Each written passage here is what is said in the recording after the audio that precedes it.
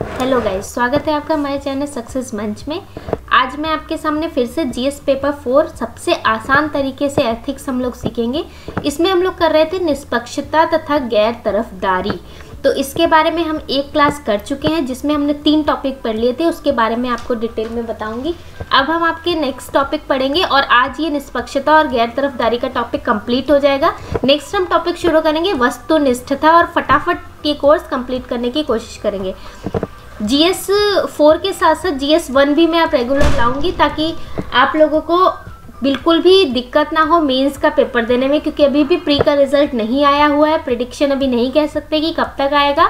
तो अभी आपके पास काफ़ी टाइम है, क्योंकि रिज़ल्ट आने के करीब एक दो महीने तक फॉर्म फिलअप होते हैं और उसके बाद ही एग्ज़ाम होगा। तो कम से कम अभी आपके पास दो महीना है, आप मान के चलिए।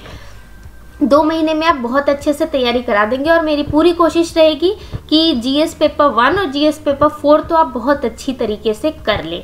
तो चलिए, ज़्यादा टाइम ना वेस्ट करते हुए हम लोग शुरू करेंगे निष्पक्षता और गैर तरफदारी।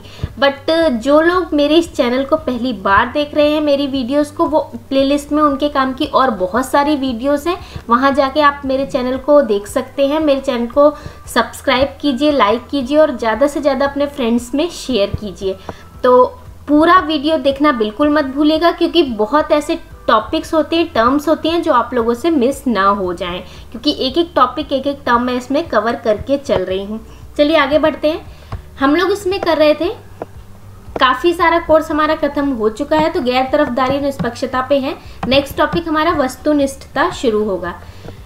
इसमें मैंने सब टॉपिक्स में डिवाइड किया था तो ये निष्पक्षता गैर तरफदारी और आवश्यकता इसकी क्यों पड़ती है प्रशासन में, ये तीन टॉपिक हम कवर कर चुके हैं।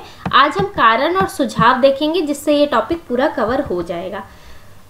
ये आप लोग रिवाइज कर सकते हैं कि इसकी मीनिंग क्या थी गैर तरफदारी की मीनिंग क्या होती है और इसकी हमारे प्रशासन में आवश्यकता क्यों पड़ती है, ये हमने देख लिया था। आज हम देखेंगे निष्पक्षता या गैर तरफदारी के संदिग्ध होने के कारण।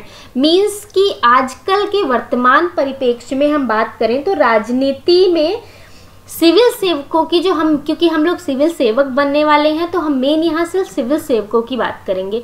तो राजनीति के उतार चढ़ावों के कारण कभी कोई दल आता है, कभी कोई दल आता है तो हम लोग एज अ लोक सेवक, क्यों निष्पक्षता से हट जाते हैं या फिर हमारी निष्पक्षता संदिग्ध होने लगती है? क्यों ऐसा लगने लगता है? तो इसके मेन रीजन आज हम बात करेंगे क्या क्या रीजन हो सकते हैं। तो सबसे पहले रीजन की हम बात करेंगे तो पहला रीजन है स्थानांतरण एवं महत्वपूर्ण पदों पर नियुक्ति। इसका मतलब ये होता है कि अगर कोई पर्टिकुलर लोक सेवक किसी जो राजनीतिक दल सत्ता में आ रहा है, उसके कामों को नहीं मानता या उसकी नीतियों के अनुरूप कार्य नहीं करता तो उसको ये डर रहता है कि कहीं मेरा स्थानांतरण ना हो जाए। और उसको अपने प्रमोशन का भी डर रहता है कि मेरी पदोन्नति नहीं होगी, अगर मैं इनकी नीतियों को नहीं मानूँगा या इनके मत पे नहीं चलूँगा तो। तो उन लोगों के अंदर ये काफ़ी डर होता है। इस कारण से वो निष्पक्ष हुए बिना अपना काम करते हैं, वो निष्पक्ष नहीं रहते हैं, वो जो भी राजनीतिक दल होता है उसके अकॉर्डिंग काम करते हैं, जैसे वो करने को कहते हैं, चाहे वो गलत ही क्यों ना हो।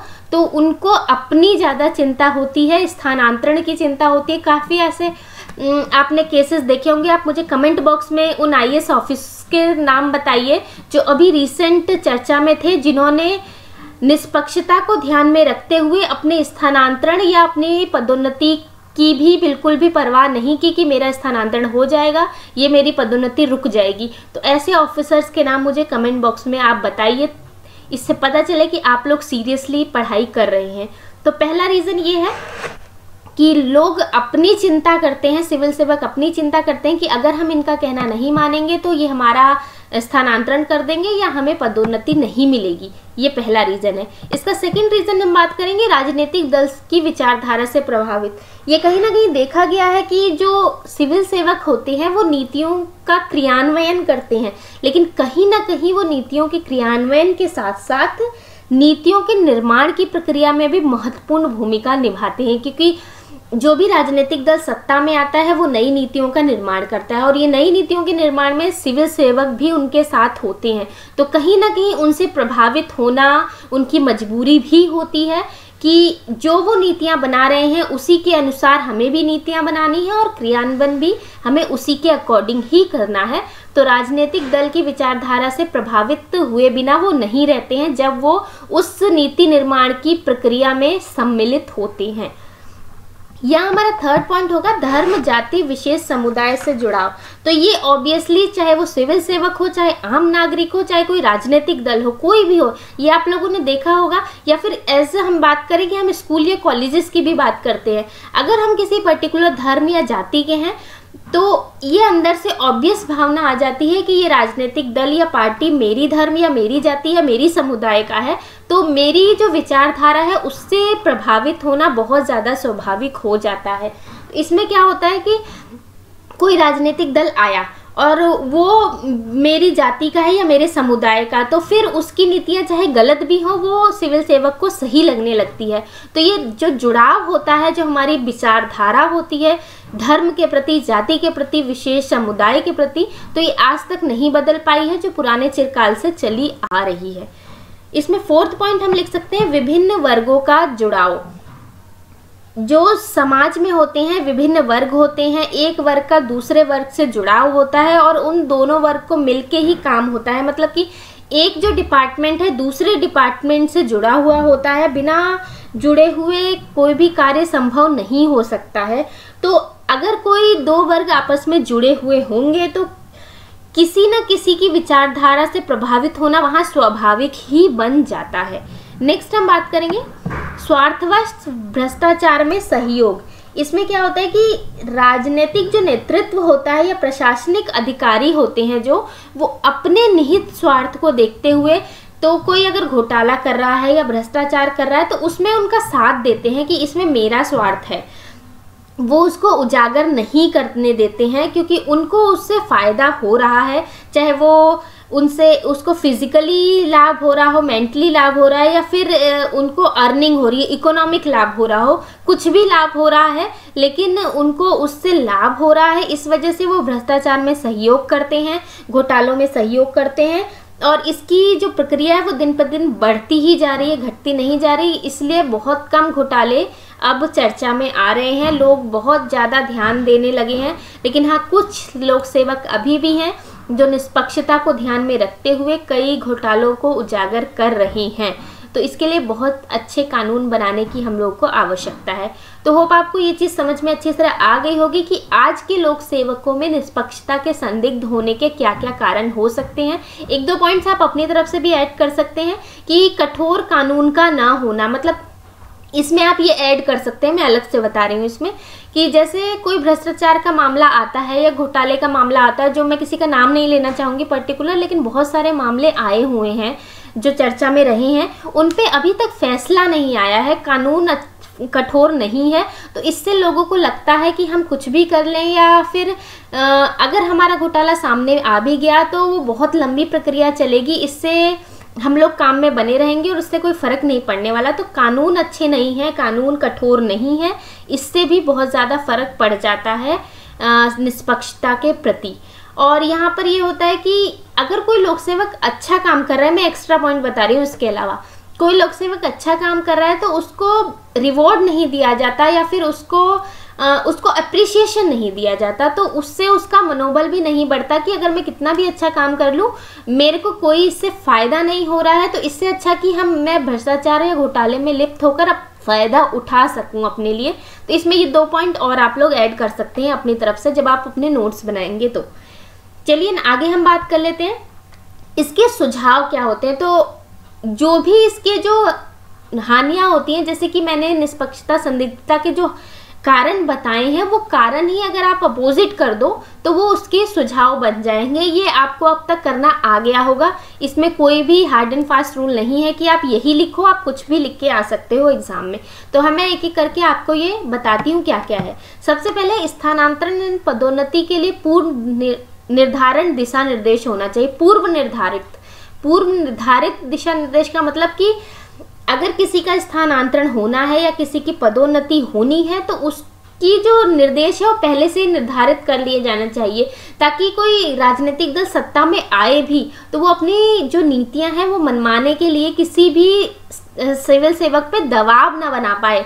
उसे ये पता होना चाहिए कि इसका जो स्थानांतरण है या इसकी जो पदोन्नति है, पर्टिकुलर इस कानून के तहत होगी, इसमें उसका कोई पर्टिकुलर रोल नहीं होना चाहिए। इससे थोड़ा सा बहुत ज़्यादा इससे फ़र्क पड़ेगा कि उसको अपनी विचारधारा में प्रभावित नहीं होगा वो और निष्पक्षता बनी रहेगी हमारे कानून में। नेक्स्ट हम बात करते हैं पारदर्शिता सुनिश्चित।